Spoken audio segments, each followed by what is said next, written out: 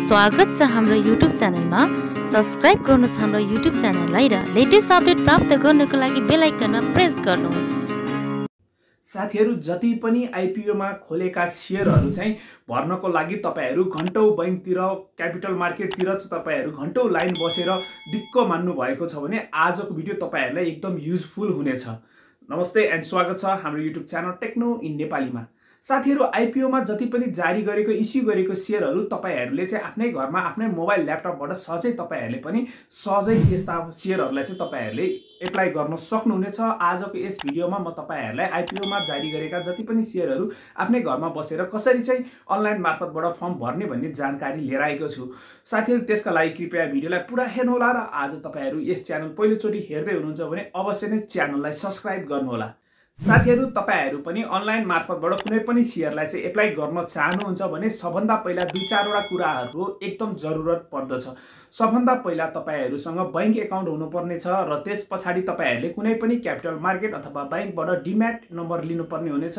Demat number लिइसके पछाडि तपाईँहरू online मार्फत सेयरहरू एप्लाई गर्न चाहिरहनु भएको हुन्छ। भने त्यस्तो अवस्थामा तपाईँहरूले बैङ्कमा गएर एउटा आसुवा फर्म भरेर सिआरएन नम्बर तपाईँसँग हुनुपर्दछ र यति भइसके पछाडि तपाईँहरूले सहजै आफ्नै घरबाट आफ्नै मोबाइलबाट ल्यापटपबाट सहजै कुनै पनि इस्यु गरिएका सेयरहरूलाई एप्लाई गर्न सक्नुहुनेछ र साथीहरू एप्लाई कसरी गर्ने भन्ने जानकारीका लागि म तपाईँहरूलाई ल्यापटप स्क्रिनतिर लाँदैछु। कृपया यस भिडियोलाई पनि एक लाइक गर्न नबिर्सिनु होला साथीहरू तपाईँहरू पनि अनलाइन मार्फत कुनै पनि सेयरलाई चाहिँ एप्लाई गर्न चाहनुहुन्छ लिन चाहिरहनु भएको छ भने सबभन्दा पहिला तपाईँहरूले आफ्नो डिम्याट एकाउन्ट खोल्नु पर्दछ। डिम्याट एकाउन्ट खोल्नको लागि तपाईँहरू कुनै पनि बैङ्कमा गएर पनि खोल्न सक्नुहुनेछ भने त्यस्तै गरी कुनै पनि ब्रोकर एजेन्सीमा गएर खोल्नु सक्नुहुनेछ। खोलिसके पछाडि तपाईँहरूले अनलाइन एउटा फर्म पनि भर्नुहोला र अनलाइन फर्म भरिसके पछाडि तपाईँहरू मेरो सेयरमा चाहिँ एउटा युजर नेम प्राप्त गर्न सक्नुहुनेछ जसमा तपाईँले आफ्नो युजर नेम राखेर एउटा पासवर्ड क्रिएट गरेर त्यहाँबाट तपाईँहरूले सजिलै चाहिँ आइपिओमा जति पनि जारी गरेका सेयरहरू छन् सजिलै तपाईँहरूले पनि एप्लाई गर्न सक्नुहुनेछ। सो साथीहरू तपाईँहरूले यति गरिसके पछाडि एप्लाई गर्नको लागि सबभन्दा तपाईँ सबभन्दा पहिला तपाईँहरू आफ्नो मोबाइल अथवा ल्यापटपमा कुनै पनि एउटा ब्राउजर ओपन गर्नुहोला। ब्राउजर ओपन गर्नुहोला र ब्राउजर ओपन गरिसके पछाडि सर्च बारमा गएर मेरो मेरो सेयर यसको मेरो सेयर सर्च गर्नुहोला। यसको लिङ्क चाहिँ डिस्क्रिप्सनमा पनि रहेको छ। तपाईँहरूले पनि सजिलै डिस्क्रिप्सनबाट ट्याप गरेर सजिलै यो साइटमा जान सक्नुहुनेछ र यो मेरो सेयर सर्च गरेर इन्टर गरिदिनु होला। इन्टर गरिसके पछाडि तपाईँहरूलाई मेरो सेयरको पेजमा तपाईँहरू आउनुहुनेछ। यति गरिसके पछाडि तपाईँहरू मेरो सेयरको पेजमा आउनुहुनेछ र यहाँ तपाईँहरूले फर्स्टमा देख्न सक्नुहुनेछ सेलेक्ट यो डिपी भनिरहेको छ जहाँबाट तपाईँहरूले आफ्नो डिम्याट एकाउन्ट खोल्नु भएको छ खाता खोल्नु भएको छ त्यहाँ सेलेक्ट गर्नुहोला। यहाँ डाउन एरो दिइरहेको छ यसमा एकपल्ट ट्याप गरिसके पछाडि तपाईँहरूले कुन चाहिँ ब्याङ्कबाट क्यापिटलबाट ब्रोकर एजेन्सीबाट खोल्नु भएको छ सम्पूर्ण यहाँ चाहिँ देखाइरहेको हुन्छ र तपाईँहरूले ट्याप गर्नुहोला। मैले चाहिँ अग्रवाल सेक्युरिटीबाट खोलेको छु भने म अग्रवालमा चाहिँ एकपल्ट ट्याप गर्छु। अग्रवालमा ट्याप गरिसके पछाडि तपाईँहरूले जुन अनलाइन फर्म भर्नको लागि गर्नुभएको छ यो मेरो सेयरको लागि। त्यसमा तपाईँहरूले युजर नेम युजर नेम प्राप्त गर्न सक्नुहुनेछ। जुन युजर नेम तपाईँले प्राप्त गर्नुभएको छ त्यो युजर नेम यहाँ राख्नुहोला म राख्दैछु। नर्मली यो युजर नेम तपाईँको डिम्याट नम्बर रहनेछ। लास्टमा जेरो जेरो पछाडिको पाँचवटा अङ्क चाहिँ तपाईँको युजर नेम हुनेछ म चाहिँ आफ्नो डिम्याट नम्बरको युजर नेम चाहिँ यो मेरो सेयरको युजर नेम चाहिँ राख्न जाँदैछु। फाइभ फोर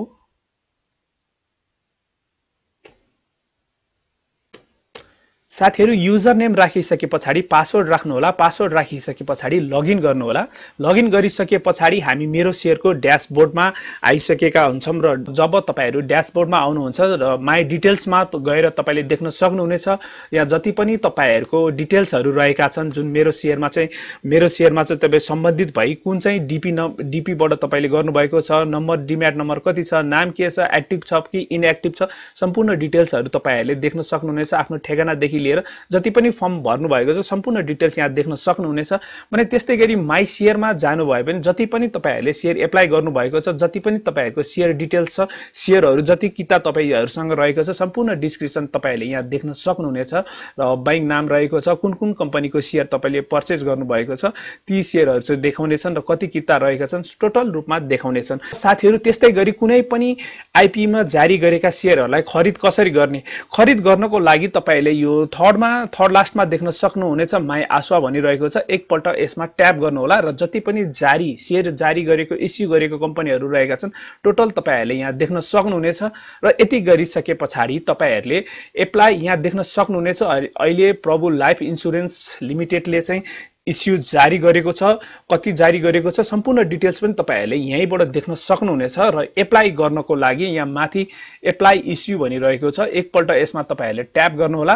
ट्याप गरिसके पछाडि तपाईँहरूले देख्न सक्नुहुनेछ Prabhu life insurance limited general public भनिरहेको छ जनरल इस्यु गरिरहेको छ अर्डिनरी सेयर रहेको छ आइपिओ भनिरहेको छ अर्डिनरी सेयर दिइरहेको छ एप्लाई गर्नको लागि यहाँ साइटमा एप्लाई लेखिरहेको हुन्छ र यसमा तपाईँहरूले एप्लाई गर्नुहोला। एप्लाई गरिसके पछाडि सम्पूर्ण सेयरको डिटेल्स तपाईँहरूले देखाउनेछ र यहाँ देख्नु सक्नुहुनेछ।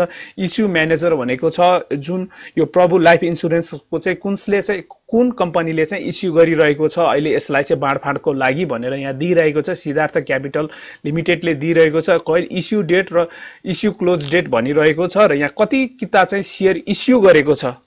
अहिले फिफ्टी फोर लाख चाहिँ सेयर इस्यु गरेको छ र एउटा सेयर बाबत सय रुपियाँ पर्नेछ भने त्यस्तै गरी दस कितासम्म हामीले मिनिमम थोरैमा दस किता चाहिँ भर्न पाउनेछौँ भने त्यस्तै गरी म्याक्सिमम् पाँच हजार कितासम्म हामीले चाहिँ यसलाई चाहिँ पाँच हजारसम्म चाहिँ हामीले खरिद गर्न सक्छौँ एप्लाई गर्न सक्दछौँ। थोरै स्क्रोल डाउन गर्नु होला र यहाँबाट तपाईँहरूले सेयर इस्यु पर्चेस गर्न सक्नुहुनेछ त्यसको लागि तपाईँहरूले फर्स्टमा तपाईँहरूको डिम्याट आइडी दे देखाइरहेको हुन्छ र यहाँ ब्याङ्क दिइरहेको हुन्छ। तपाईँले ब्याङ्क पहिले सेलेक्ट गर्नुपर्ने हुनेछ। कुन ब्याङ्कलाई तपाईँहरूले सेलेक्ट गर्नुभएको छ फर्म भर्दाखेर मैले हिमालय ब्याङ्क सेलेक्ट गरेको छु र म हिमालय ब्याङ्कको मार्फत सेयर चाहिँ एप्लाई गर्दैछु। साथीहरू यो हिमालय जुन ब्याङ्क तपाईँले यो डिम्याट खोल्दाखेर चाहिँ भर्नुभएको छ। त्यो ब्याङ्क चाहिँ तपाईँहरूले यहीँ देखाउनेछ। थोरै स्कुल डाउन गर्ने बित्तिकै तपाईँहरूले यहाँ देख्न सक्नुहुनेछ। हिमालय ब्याङ्क सेलेक्ट आइसकेको छ र सेयर पर्चेस गर्नको लागि सेयर एप्लाई गर्नको लागि जति किता तपाईँले सेयर खरिद गर्न चाहनु भएको छ त्यति बराबरको चाहिँ तपाईँको यो हिमालय ब्याङ्क जुन ब्याङ्क राख्नु भएको छ त्यो ब्याङ्कमा चाहिँ त्यति बराबरको एमाउन्ट चाहिँ हुनुपर्दछ। भइसके पछाडि मात्र तपाईँहरूले एप्लाई गर्न सक्नुहुनेछ। र साथीहरू तपाईँहरूले यहाँ ब्याङ्क देख्न सक्नुहुनेछ ब्याङ्कको ब्रान्च पनि देख्न सक्नुहुनेछ ब्याङ्क नम्बर भनिरहेको छ र यहाँ देख्न सक्नुहुनेछ एप्लाई किता भनिरहेको छ। किता कति किता तपाईँहरूले एप्लाई गर्न चाहिरहनु भएको छ त्यति किता तपाईँहरूले यहाँ राखिदिनु होला इन्टर एप्लाई किता भनिरहेको छ म सय किता चाहिँ म एप्लाई गरिरहेको छु। सय किताको लागि कति एमाउन्ट चाहिँ चाहिने रहेको छ भनेर यहाँ पनि देखाइरहेको छ। दस हजार तपाईँले सय किता एप्लाई गर्न परेको खण्डमा दस हजार तपाईँले राख्नुपर्ने हुनेछ। त्यस्तै गरी तपाईँहरूले मुनि सिआरएन भनिरहेको छ। सिआरएन नम्बर चाहिँ तपाईँहरूले जुन ब्याङ्क राख्नुभएको छ ब्याङ्कमा गएर आसवा भन्ने एउटा फर्म हुन्छ। फर्म भरिसके पछाडि तपाईँहरूलाई एउटा सिआरएन नम्बर दिनेछ र यो सिआरएन नम्बर तपाईँहरूले राख्नु पर्दछ यतिहरू सिआरएन नम्बर चाहिँ सेयर इस्यु र ब्याङ्क बिचको एउटा कनेक्सन पोइन्ट हो जहाँबाट सहजै तपाईँहरूले आफ्नो ब्याङ्कबाट त्यति पैसा काटिनेछन्। र जति तपाईँहरूले एप्लाई गर्नुहुन्छ त्यो बराबरको तपाईँहरूले सेयर तपाईँको नाममा आएको खण्डमा त्यति एमाउन्ट चाहिँ ब्याङ्कबाट तपाईँको ब्यालेन्सबाट कटिनेछ र त्योभन्दा कम परेको खण्डमा जति सेयर परेको छ त्यति मात्र काटेर तपाईँहरूको ब्याङ्कमा बाँकी ब्यालेन्स बस्दछ। र ज जबसम्म यो सेयर इस्यु हुँदैन तबसम्म तपाईँहरूले जति सेयर हाल्नुभएको छ अहिले मैले दस किता राखेको छु भने त्यति एक हजार रुपियाँ चाहिँ ब्याङ्कमा होल्ड हुनेछ र तपाईँले यो एक हजार रुपियाँ रकम चाहिँ निकाल्न सक्नुहुन्न।